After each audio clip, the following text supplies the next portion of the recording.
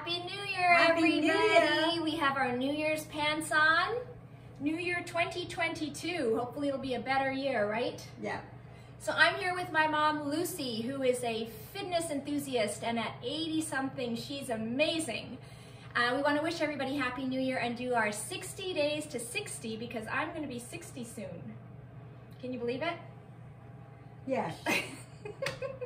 I came it. out of her. I- so one thing I have to say as I get older is I really want to start partner dancing because I think that's a great way to stay in shape and it's also a very social thing to do as we get older. Yes.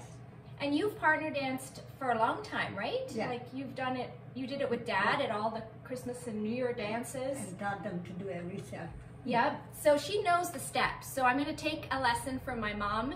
60 days to 60, start partner dancing, whether it's salsa, whether it's ballroom, whether it's um, driving.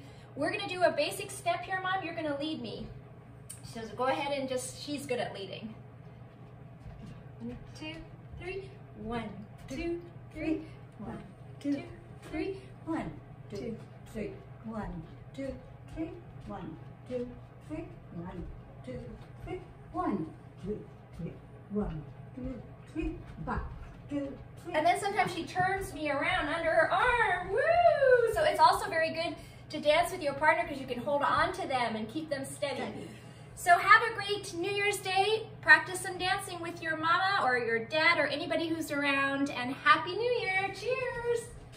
With our apple juice. Cheers. Cheers, everybody.